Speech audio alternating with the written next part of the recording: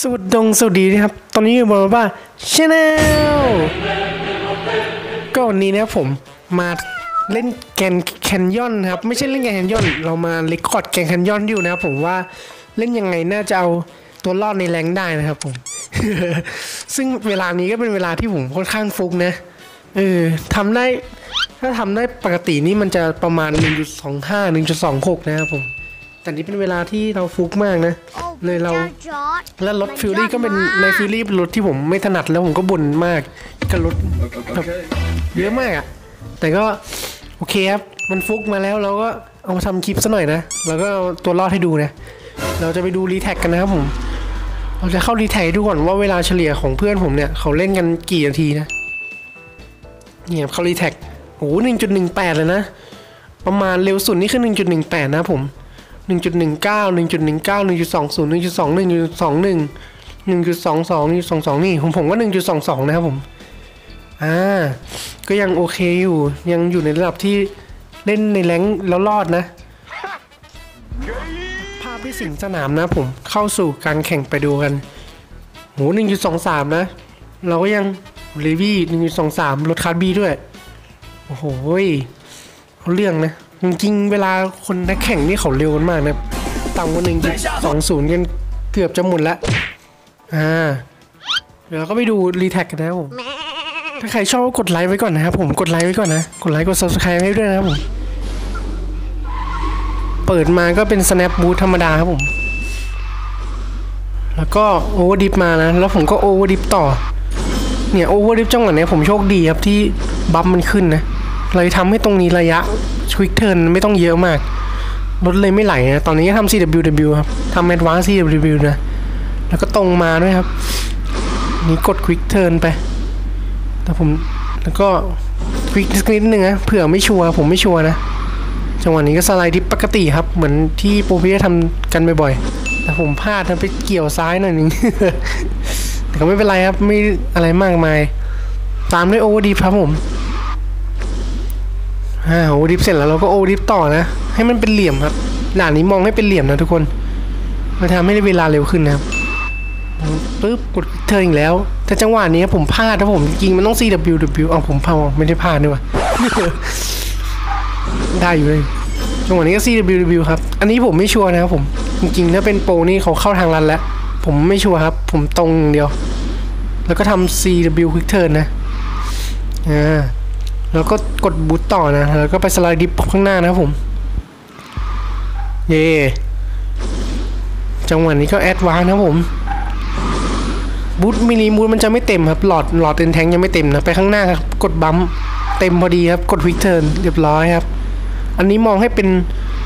drift กด quick turn สองที กด mini boost quick turn mini boost แล้วก็ CW เรียบร้อย แล้วไปข้างหน้าไป bump boost ครับสักนิดนึงตึ๊บ อ่า แล้วก็กด drift snap เลยนะผมอะผมเรียก snap นะ ยิง advance ได้นะครับ แต่ผมไหลผมไหลด้วยแหละ กลัว boost ไม่เต็มไง อันนี้ advance drift ครับ ไม่ใช่ advance driftโอ้ดิฟนะ อ่าย้อนย้อนนั่งหน่อย อ่าในจังหวะนี้ครับ ถ้าเป็นคนยิงเสี่ยงหน่อยเขาจะเข้าทางหลัดกันแล้ว แล้วก็ตรงยาวแต่ผมไม่ครับ ผมไม่เสี่ยงนะ ผมเลือกที่จะแอดวานตรงนี้นะเอ้ยโอ้ดิฟตรงนี้นะ ตรงนี้ครับถ้าควิกเทิร์นติดมินิบูทหน่อยทำให้เวลาเร็วขึ้นครับ แต่ผมไม่ติดนะ ไม่เป็นไรครับ แก้ด้วย CWW ครับ กด Quick Turn ต่อ มองให้เป็นเส้นตรงกันทุกคนอย่าลืม Advance อ่า Advance ตรงยาวครับจังหวะนี้จังหวะนี้จะเลือกเป็น Advance ก็ได้ครับ หรือจะ Quick Turn ก็ได้นะครับ ผมเลือกเป็น Quick Advance นะ มันจะได้ดับเบิลบูทมาส่งถึงตรงนี้นะ ตรงนี้บางคนเลือกสไลดินนะครับ แต่ผมเหลี่ยมผมมันกด Quick Turn ได้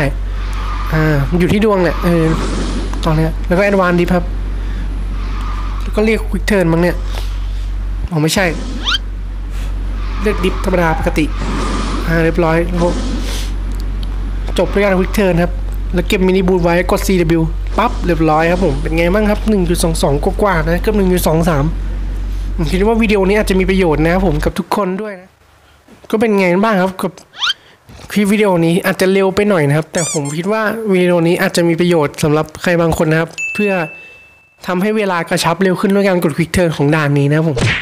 ทุกคนก็ลองไปปรับใช้กันดูนะครับ ผมก็ยังไม่เก่งอะไรมากแล้วก็ยังพลาดอยู่เยอะนะครับ แต่มันเป็นเป็นอะไรที่ฟุกมากทำให้เวลาเร็วขึ้นในจังหวะที่ผมไม่ได้คิดอะไรมากมายแล้วทุกคนก็ขอบคุณทุกคนมากครับผมกดติดตามกด subscriber ไว้ให้ผมด้วยนะครับสำหรับใครที่อยากดูด่านใหม่ๆ หรือใครอยากให้ทำด่านใหม่ๆ ก็คอมเมนต์เข้ามานะครับผม แต่ที่สำคัญที่อยากเก่งขึ้นคือเราต้องฝึกเองเลยครับผมนั่นเลยครับ เป็นคติของผมนะ ฝึกเอาเลยครับผม ดูแล้วก็ฝึกเลยแน่นอนรับรองว่าดีขึ้นแน่นอนครับสำหรับใครที่ท้อก็สู้ๆครับผมสู้ต่อไปนะแล้วเราก็จะไปดูคลิปเต็มกันหวังว่าคลิปนี้จะมีประโยชน์นะครับผม ขอบคุณทุกคนจริงๆครับ แล้วก็ไปดูกันเลย